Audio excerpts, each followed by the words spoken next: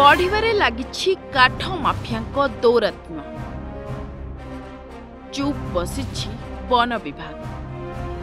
ଦିନ ଦୁଇ ପହରରେ ଗଛ ଚୋରି କରି ନେଇଥିବା ଅଭିଯୋଗ।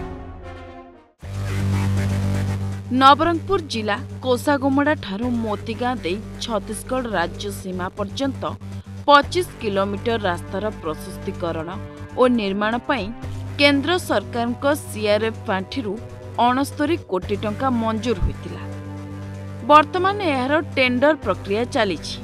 ରାସ୍ତାର ଉଭୟ ପାର୍ଶ୍ୱରେ ଥିବା ଗଛଗୁଡ଼ିକ ରାସ୍ତାର ପ୍ରଶସ୍ତୀକରଣରେ ବାଧା ସୃଷ୍ଟି କରିବା ପୂର୍ବରୁ ପଚିଶ ଶହ ଗଛ କାଟିବା ପାଇଁ ଚିହ୍ନଟ କରାଯାଇ ଖୁଣ୍ଟ ପୋତାଯାଇଥିଲା ଗଛ ଚିହ୍ନଟ ହେବାର ପରଦିନ ଚିହ୍ନଟ କରାଯାଇଥିବା ଗଛଗୁଡ଼ିକ ସମେତ ଚିହ୍ନଟ ହୋଇନଥିବା ଗଛଗୁଡ଼ିକ କାଠ ମାଫିଆମାନେ କାଟି ସଫା କରିଦେଇଥିବା ଅଭିଯୋଗ ହୋଇଛି। ତିରିଶ କିମ୍ବା ଚାଳିଶ ବର୍ଷର ପୁରାତନ ଚାଖୁଣ୍ଡା ଆକାଶିଆ ଗଛଗୁଡ଼ିକ ରାସ୍ତାର ଉଭୟ ପାର୍ଶ୍ୱରେ ରହିଥିଲା।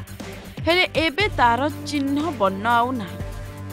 ଏତେ ସାରା ଗଛଗୁଡ଼ିକୁ ଗୋଟିଏ ଦିନରେ କାଟି ନେବା ସମ୍ଭବ ନଥିବା ବେଳେ ଗଛଗୁଡ଼ିକ ଏପରି ଉଭା ହୋଇଯିବା ସମସ୍ତଙ୍କୁ ଚକିତ କରିଛି।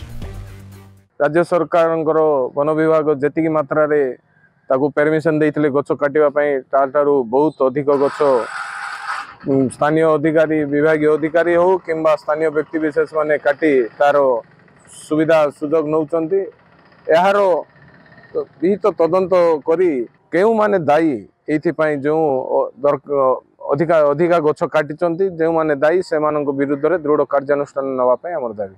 କିନ୍ତୁ ଗଛ ଚିହ୍ନଟ ହେଇଥିଲା ବନ ବିଭାଗର ସହାୟତାରେ ପୂର୍ତ୍ତ ବିଭାଗ ତାକୁ ଚିହ୍ନଟ କରିଥିଲା।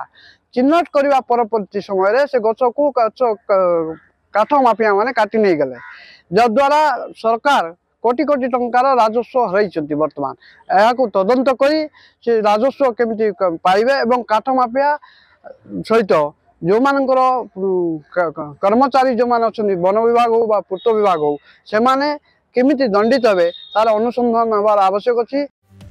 କୋଷାଗୁମଳା ଛତିଶଗଡ଼ ରାସ୍ତାର ଉଭୟ ପାର୍ଶ୍ୱରେ ଥିବା ଗଛଗୁଡ଼ିକୁ କାଟିବା ପାଇଁ ପୂର୍ତ୍ତ ବିଭାଗ ନବରଙ୍ଗପୁର ବନ ବିଭାଗ ଅଧିକାରୀଙ୍କୁ ମେଲ୍ କରିଥିଲେ।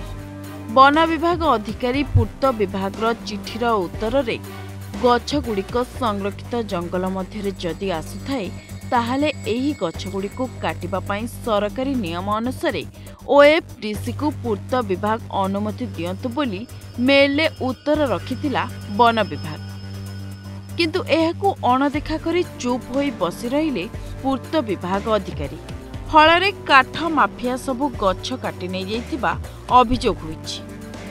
ସେପଟେ ଗଛଗୁଡ଼ିକ କାଟିବା ପାଇଁ ଓଏଫ୍ଡିସିକୁ ପୂର୍ତ୍ତ ବିଭାଗ କୌଣସି ଚିଠି କରିନଥିବା ଓଏଫ୍ଡିସି ଅଧିକାରୀ କହିଛନ୍ତି ସଂରକ୍ଷିତ ଜଙ୍ଗଲ ଅଞ୍ଚଳ ମଧ୍ୟରେ ଗଛଗୁଡ଼ିକ ଆସୁନଥିବାରୁ ଏହି ବିଷୟରେ କିଛି ପ୍ରତିକ୍ରିୟା ରଖିବା ପାଇଁ ମନା କରିଦେଇଛନ୍ତି ଜିଲ୍ଲା ମୁଖ୍ୟ ବନ ଅଧିକାରୀ। କିନ୍ତୁ ପୂର୍ତ୍ତ ବିଭାଗ ଅଧିକାରୀ ଗଛଗୁଡ଼ିକୁ କିଏ କାଟିନେଲା ଏ ବିଷୟରେ ସେ କିଛି ଜାଣିନାହାନ୍ତି ବୋଲି ଦାୟିତ୍ୱହୀନ ମନ୍ତବ୍ୟ ଦେଇଛନ୍ତି ସେ ଯେଉଁ ଆମର ସନ୍ତୋଷପୁର ରାସ୍ତା ଯେଉଁଟା ସିଆର୍ଏଫ୍ ଫଣ୍ଡରେ ୱାଇଡନିଂ ହେବାର ଅଛି ଟେଣ୍ଡର ହେଇନି ଆହୁରି ପ୍ରୋଜେକ୍ଟ ସାଙ୍ଗସନ୍ ହେଇଛି। ଆଉ ସେ ତାର ଟ୍ରି ଏନିମେସନ୍ ପାଇଁ ଫରେଷ୍ଟ ଆଉ ବାଲାଙ୍କୁ ଲେଖା ହେଇଥିଲା ଚିଠି ଲେଖା ହେଇଥିଲା। ନା ଆମ ପାଖରେ ତ ଗଛ କିଏ କାଟିଛି କୌଣସି ରେକର୍ଡ଼ ନାହିଁ। କି ଆମେ କାହାକୁ କହିନୁ ଗଛ କାଟିବା ପାଇଁ। ପୂର୍ତ୍ତ ବିଭାଗ ସରକାରୀ ନିୟମର ଉଲ୍ଲଂଘନ କରିଥିବା ଅଭିଯୋଗ ହୋଇଛି। ଫଳରେ ସରକାରଙ୍କର ଲକ୍ଷାଧିକ ଟଙ୍କାର ରାଜସ୍ୱ ହାନି ଘଟିଛି।